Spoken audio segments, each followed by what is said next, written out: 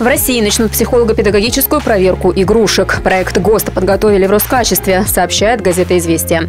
Документ позволит определить безопасную для психики детей продукцию. Также ведомстве выделили 13 признаков игрушек, которые могут причинить вред здоровью и развитию малышей.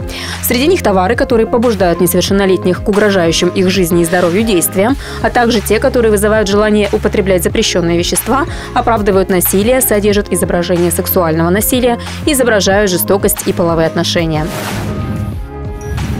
В Перском крае вводится ограничение из-за резкого роста заболеваемости гриппом, COVID-19 и ОРВИ. Рекомендовано ввести масочный режим в поликлиниках и больницах, проводить обязательную термометрию.